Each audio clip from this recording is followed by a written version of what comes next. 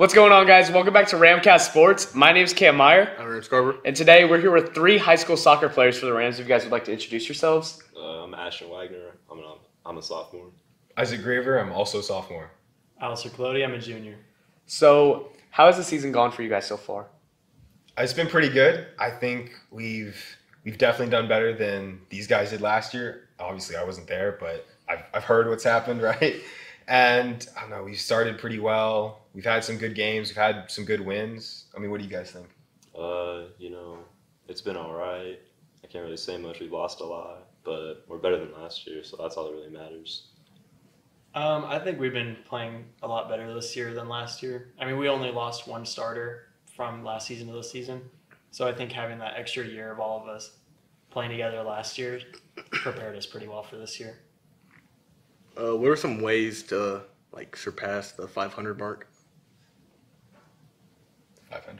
500? Like, like, even record. Like, like get over the even record. yeah. Hmm. So I think I mean we're we're halfway through the season now. I think. So we we do have quite a few rough games. We've got to play Marion twice. We have some rough games on the road, but we also have some games I think are definitely winnable. There's a lot there, especially with the improvement. We've got some new players coming in, a couple freshmen who have been playing in during, for varsity and they've been doing really really well. I think if we go hard in practice, we keep training the way we have. I think there's a good chance that we can we can get the wins we need and we could maybe even win a regionals. I think we definitely have the potential. Mm-hmm. Yeah, I totally agree with that. We've gotten a lot better as a team and individuals, and I think we could, yeah, maybe win regionals if we try hard enough. I think we're definitely capable of playing to our competitors' level. So as long as we just keep level heads and go into it with a strong attitude and determination, we can definitely match any team's capabilities. Uh, kind of touching on what you said, Isaac. Is there anyone that has like stood out in your perspective? Yeah, so I think two people specifically, Blake Sanders and Kiko Koch, both of them have been have been incredible this season. I know they have each of them have I think maybe even one or two hat tricks this season. Blake had an incredible goal outside the box in a recent home game.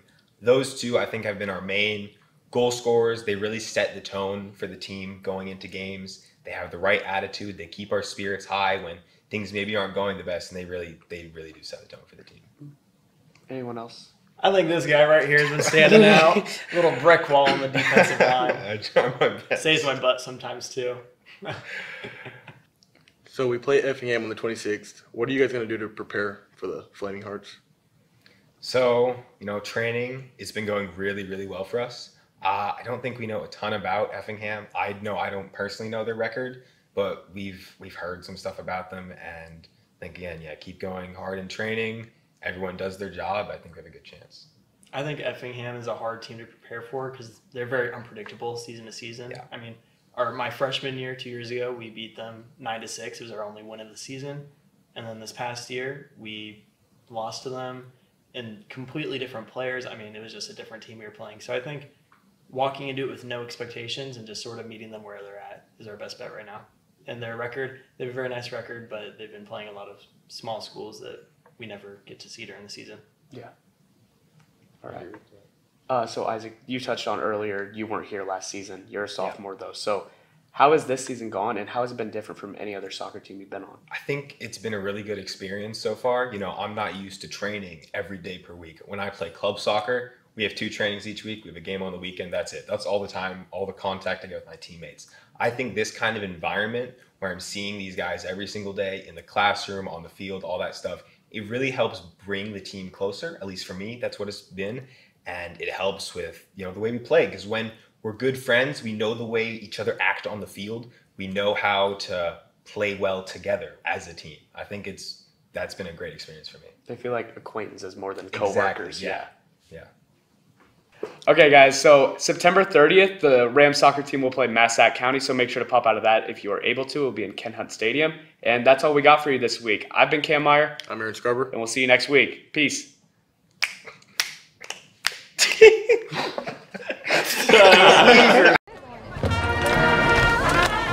The team's gonna.